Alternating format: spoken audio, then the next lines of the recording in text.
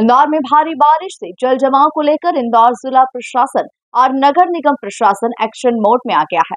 लिहाजा कलेक्टर आशीष सिंह और निगम आयुक्त शिवम वर्मा ने अहम बैठक आयोजित की, जिसमें जल जमाव को लेकर अहम मंथन किया गया।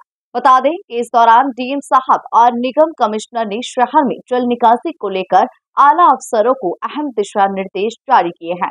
देखिए ये खास रिपोर्ट। इंदौर में जल जमाव को लेकर एक्शन में कलेक्टर और निगम कमिश्नर। नगर निगम और जिला प्रशासन ने आहूत की अफसरों की अहम बैठक। भारी बारिश के दौरान जल जमाव से इंदौर की हुई थी किरकिरी। इंदौर के सभी नालों का होगा रिकॉर्ड चेक। जल निकासी के किए जाएँगे इंतज़ाम।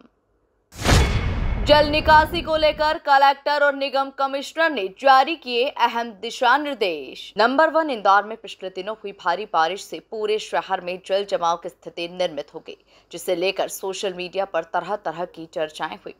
घंटों तक लोगों को जाम में फंसे रहना पड़ा। और जिसके बाद अब इंदौर जिला प्रशासन और नगर निगम प्रशासन एक्शन मोड में आ गया है। लिहाजा कलेक्टर आशीष सिंह और निगम कमिश्नर शिवम वर्मा की अध्यक्षता में सिटी बस ऑफ़िस में बड़ी बैठक आयोजित की गई, जिसमें तमाम अफसर मौजूद रहे।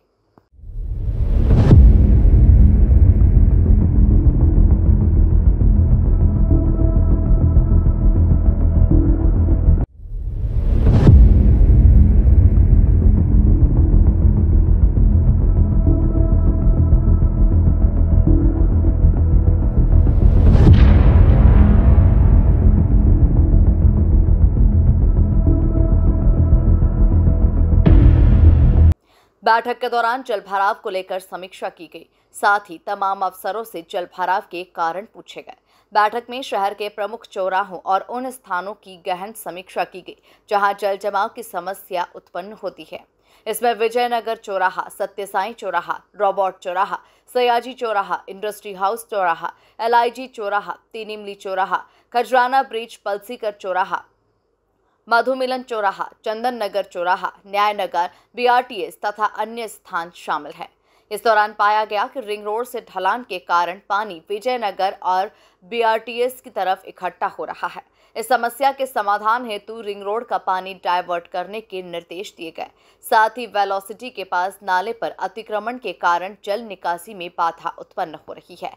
इस समस्या के निवारण के लिए अतिक्रमण हटाने के निर्देश भी दिए गए हैं। देखिए, परसों जो जल जमाव की स्थिति निर्मित हुई थी और खासतौर पर प्रमुख चौराहों पर जो ट्रैफ़िक की अवस्था की स्थिति निर्मित हुई थी उसको लेके कल माननीय मुख्यमंत्री जी के द्वारा भी समीक्षा करी गई थी। तो उसी के अनुक्रम में आज पुलिस, ट्रैफ़िक और नगर निगम के और आईडीए के सभी अधिकारियों के साथ में प्रत्येक एक एक पॉइंट की समीक्षा करी गई है जहाँ जहाँ पर जल भराव और ट्रैफ़िक की समस्या आई थी।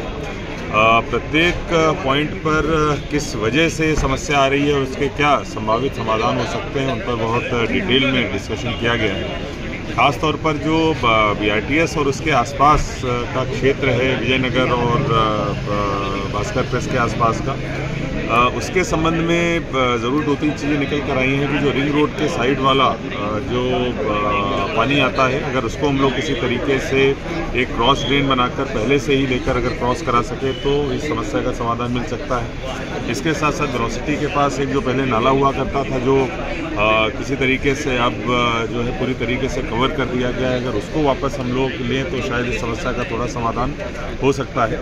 तो इन सभी पॉइंट्स पे डिस्कशन हुआ है और जहाँ जहाँ पर हमारी स्टॉम वाटर लाइन नहीं है वहाँ पर स्टॉम वाटर लाइन डाली जाए। जहाँ पर स्टॉम वाटर लाइन है वहाँ पर नए चैम्बर्स बनाए जाएँ अगर चैम्बर्स बंद हो गए तो उनको खोला जाए। कुछ ऐसी जगह हैं जहाँ पर बगल से नाला जा रहा है और वहीं पर चौराहे पे जल भराव की स्थिति निर्मित हो रही है तो निश्चित रूप से उसका बहुत ही आसानी से सोल्यूशन निकाला जा सकता है। जैसे अगर हम लोग इंडस्ट्री हाउस की बात करें या पलासिया की बात करें या ऐसे अन्य कई भी इस प्रकार के चौराहे हैं, वहाँ पर तत्काल हम लोगों को काम करके उस जल भराव से पूरी तरीके से हम लोग मुक्त हो सकते हैं। जितने भी ऐसे स्थान हैं जहाँ पर जलभराव की समस्या अधिक हो रही है और वहाँ पर कोई पुराना नाला हुआ करता था रेवेन्यू ऑफिसर्स से ये भी बोला गया है कि वहाँ पर हम लोग निकालें कि कौन से नाले हुआ करते थे। अगर हमको अतिक्रमण भी वहाँ पर हटाने पड़े या अन्य कोई भी इस प्रकार की बाधा हटानी पड़ी तो हम लोग वो भी करेंगे। प्रत्येक बिंदुवार हम लोगों ने डिस्कशन किया है, इसकी प्रोसीडिंग भी बनेगी और प्रत्येक बिंदुवार हम लोग आगे कार्रवाई करके ये समस्या कम से कम हो, जनता को कम से कम परेशानी की दिशा में काम करें। बैठक में additional CP Amit Singh, SDM अपर आयुक्त दिव्यांग सिंह, अभिलाष मिश्रा, अभय राजन गांवकर सहित सभी जोनल अधिकारी, नगर निगम, पुलिस प्रशासन, यातायात विभाग एवं इंदौर विकास प्राधिकरण के अधिकारी मौजूद रहे। कुल मिलाकर शहर में फिर से जल जमाव की स्थिति निर्मित न हो, उसे लेकर जिला प्रशासन ने कड़ा एक्शन प्लान तैयार किया है। Bureau report, MP news, Indore.